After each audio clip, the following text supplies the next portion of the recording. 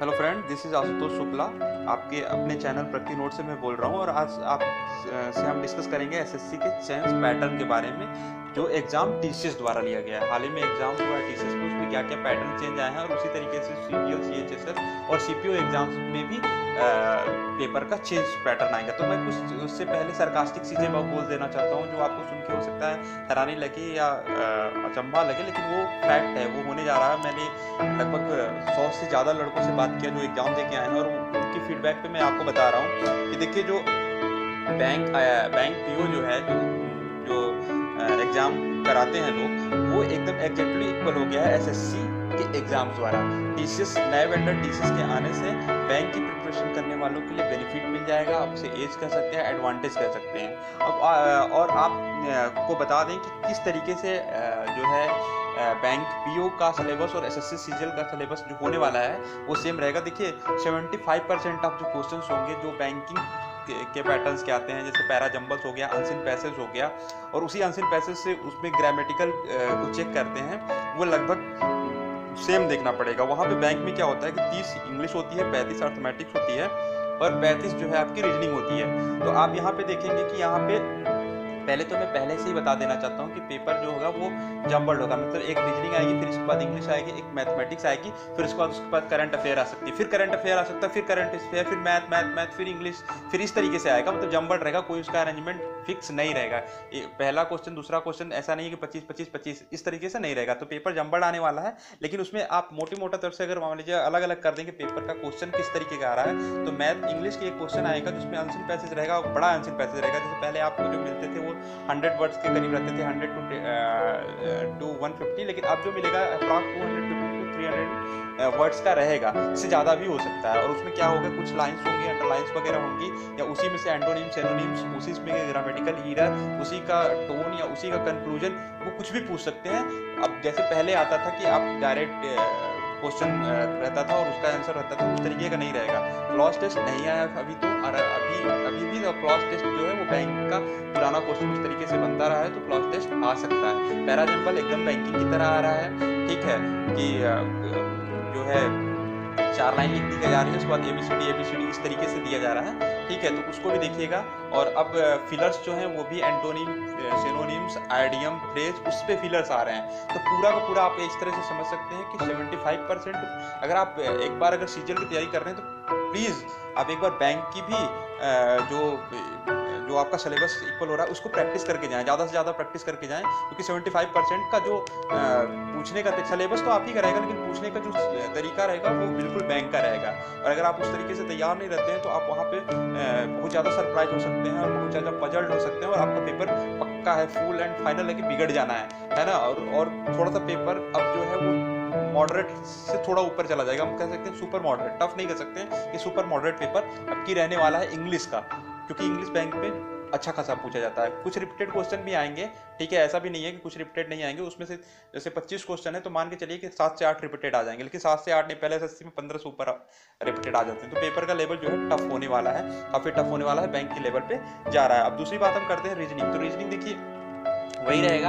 आपका counting figure हो गया मिरर हो गया वाटर इमेज हो गया, ठीक है ना? यही सब आ रहेगा। बाकी आपका डाइस हो गया, सारी चीज़ें रहेंगी, लेकिन डाइस तो देखने को नहीं मिला है, ठीक है? और आपका सेलोगिम्स हो गया तो यही सब क्वेश्चन रहेंगे, लेकिन वो क्वेश्चन क्या रहेंगे? टफ रहेंगे। रिलेशन के जो, जैसे क्वेश्चन आते हैं तो अब पहले क्या था कि pointing to the figure same set this is ये ऐसा क्वेश्चन नहीं रहेगा। अब ये, पहले तो आपको डिफाइन कर देंगे कि A A star B means A is a father of B B star C B sister of इस तरीके से रहेगा उसके बाद क्वेश्चन रहेगा उसके बाद उसका आंसर रहेगा मतलब कि पूरा बैंकिंग पैटर्न फिर यहाँ पे आप देख सकते हैं कि चालीस से पैंतालीस परसेंट या पचास परसेंट पेपर जो है वो बैंकिंग का फॉलो कर रहा है।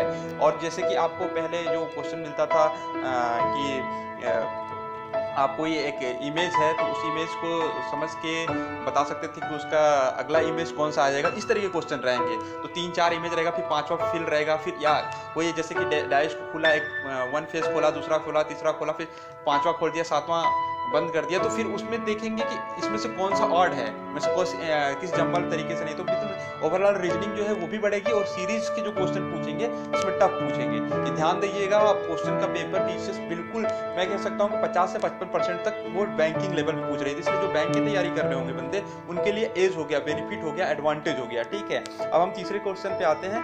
80 परसेंट जो है, वो अर्थमेटिक्स पूछा जा रहा है। तो अर्थमेटिक्स पूछे जाने के पीछे लॉजिक क्या हो सकती है?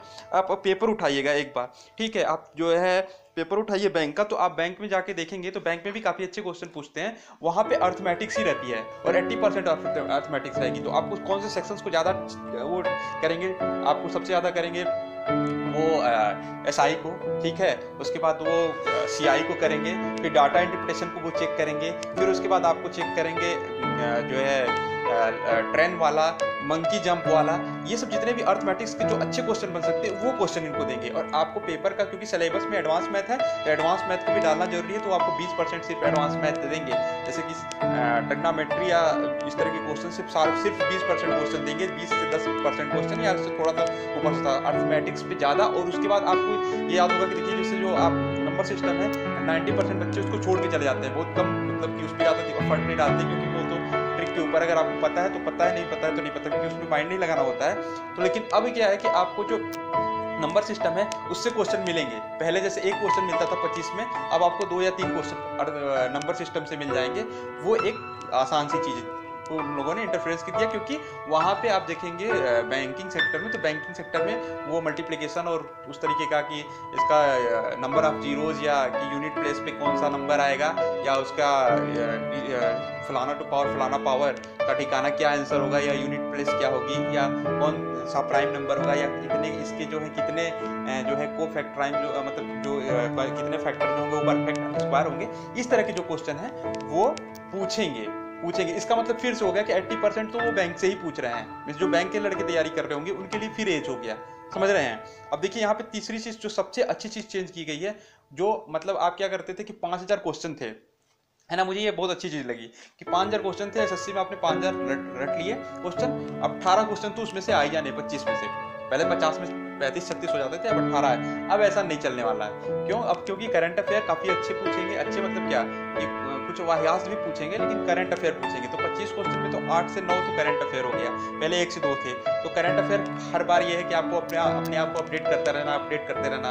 और ये ज़्यादातर एस के बच्चे नहीं करते थे करंट अफेयर का अपडेट क्योंकि वो ज़्यादा से ज़्यादा मैथ और साइंस पे। तो अब आपको करंट अफेयर काफ़ी अच्छे से पढ़ना है। दूसरी चीज़ ये होती है कि किसी भी, आप कहीं भी जाइए यूपीएससी या यूपीपीसीएस या कहीं भी जाइए, जहाँ पे हिस्ट्री से क्वेश्चन अच्छे लेवल के पूछ दिए जाते हैं, वो पेपर टफ हो जाता है। और इन्होंने क्या किया है? हिस्ट्री को क्वेश्चन मतलब पेपर में वेटेज ज़्यादा दे दिया। पहले दो से तीन जैसे इस तरह से क्वेश्चन पूछते थे कि इनमें से कौन सा रूलर है जो अनपढ़ है। तो अकबर ये जो रिपीटेड थे, इस तरीके के क्वेश्चन पूछते थे, लेकिन अब ऐसा नहीं पूछेंगे। रिपीट करेगा, मैं ये नहीं कर रहा हूँ कि रिपीट नहीं करेगा। रिपीट करेगा, लेकिन रिपीट करेगा पाँच से सात। मतलब हर सेक्शन से चार से पाँच क्वेश्चन रिपीट करेंगे और चार सेक्शन है तो सोलह से अट्ठारह क्वेश्चन रिपीट करेंगे।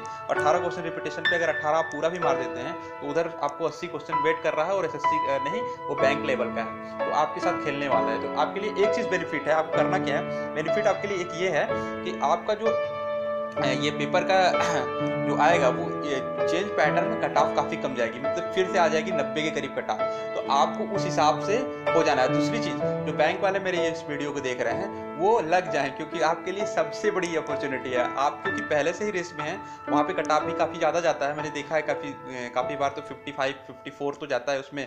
एसबीआई में एसबीआई का लेवल काफ़ी ऊपर होता है, बाकी 60 65 तक जाता है। यहाँ पे आपका 45 46 क्वेश्चन आप यहाँ पे कर देते हैं तो आपका हो जाना है मीन्स कि, अगर आप बैंक में दो चार नंबर से पाँच नंबर से आप अगर छट रहे होंगे तो एक बार एस दे के देखिए। इस बार आपका निकलने वाला है। मैं डैम श्योर हूँ मैंने एनालाइज किया है। अगर आपको ये मेरा वीडियो अच्छा लगा तो चैनल को प्लीज़ सब्सक्राइब करिए और लाइक बटन दबा दीजिए। अगर आप मेरे इस यूट्यूब वीडियो पे कुछ क्रिटिक्स देना चाहते हैं, कुछ बताना चाहते हैं तो आप कमेंट ज़रूर करिएगा। ठीक है? गाली यार आल्सो वेलकम ठीक है? लेकिन थोड़ी सी स्टाइल से दीजिएगा। डायरेक्ट देना अच्छी बात नहीं होती, ठीक है? और अगर आप अप्रिशिएट करते हैं बहुत अच्छा लगेगा। Thank you very much have a nice day bye ठीक है।